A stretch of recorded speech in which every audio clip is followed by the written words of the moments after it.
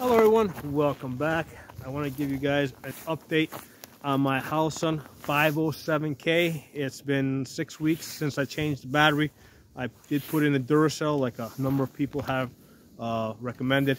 Uh, same thing, you know, somewhere between four weeks and uh, eight weeks battery life. Uh, let me get behind the camera and you'll be able to see the blinky blinky.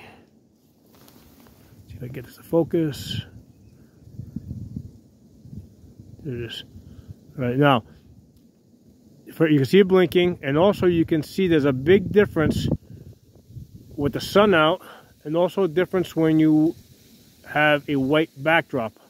So because I'm outdoors and there's snow on the ground here for, I don't know, at least uh, four months out of the year, I have to have this at a high enough setting that I can see it outdoors when it's sunny and when there's snow out. Okay, so Holosun did recommend I power this, you know, power it down, but that's that's just not going to work because um, that's just not how the world is where I live.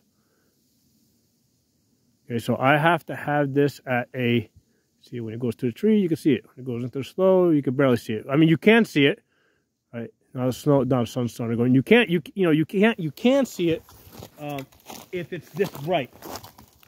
Okay, if I power it down, I would not be able to see it. So I have to run it at that brightness setting.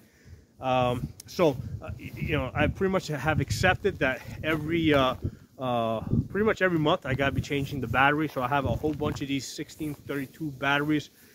Um, but I, I, I'm kind of just putting this information out there so that you guys are aware of this. Uh, a couple of people have told me in the past that, hey, you know, uh, power it down or maybe it's defective. It's not defective. Uh, I have a few of these, you know, I have a couple of these 507Ks.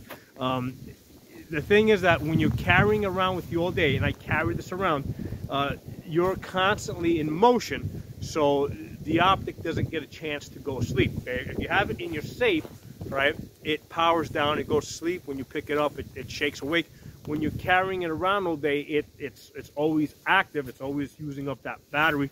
It would be very useful if Holosun would give us a solar panel, you know, with an auto adjust feature in this. So at least when you put it into your holster, which is where it's going to be like 99% of the time, uh, when it's in your holster, uh, it senses that it's dark and it powers down. As it is right now, I have to keep this at a setting where I can see it in the daytime when it's sunny and when there's snow out.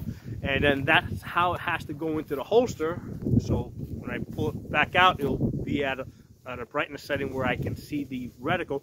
Um, and it's just that it consumes the battery much faster. So I know that SHOT Show is coming up in a couple of weeks. Uh, will probably be uh, releasing some new products. I am hoping that the product that they release will be a Holosun 507K um, with a solar panel on it with a uh, uh, you know an, a brightness auto adjust feature. Okay, so uh, put this battery in on November 22nd. It's now January 10. That's about six weeks. Uh, I bought this last year in June, so June 2021.